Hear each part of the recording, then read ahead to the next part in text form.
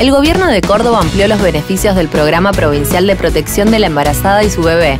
La ministra de Salud, Gabriela Barbás, anunció el fortalecimiento de este programa de prevención en salud, que abarca a todas las cordobesas embarazadas sin obra social. Se trabajará en la captación temprana y el seguimiento de salud de las personas gestantes y los bebés hasta los mil días de vida. Y se triplicará la asignación provincial por embarazo que se otorgará de acuerdo al trimestre de gestación en el que se concrete la inscripción. Estamos a tu lado cuidando lo que más querés. Gobierno de la provincia de Córdoba. Entre todos hacemos.